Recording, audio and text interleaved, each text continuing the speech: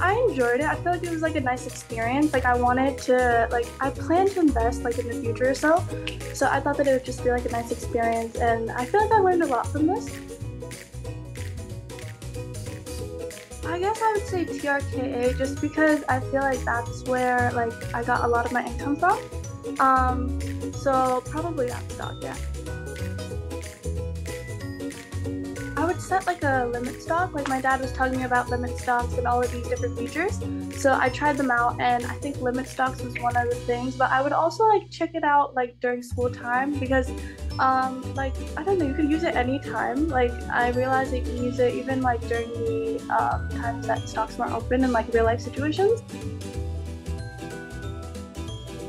I would probably like save for university or like I don't know. I just like um mm, what's it called?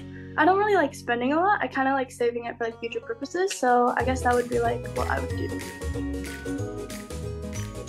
So like go for it because you're gonna get the experience. Like this is kind of like a try on for like future experiences and like um, kind of um, I guess it's just like a good opportunity. I mean, you enhance your knowledge and use it in like real life situations, and it can help you like earn money and like I don't know, it's just great.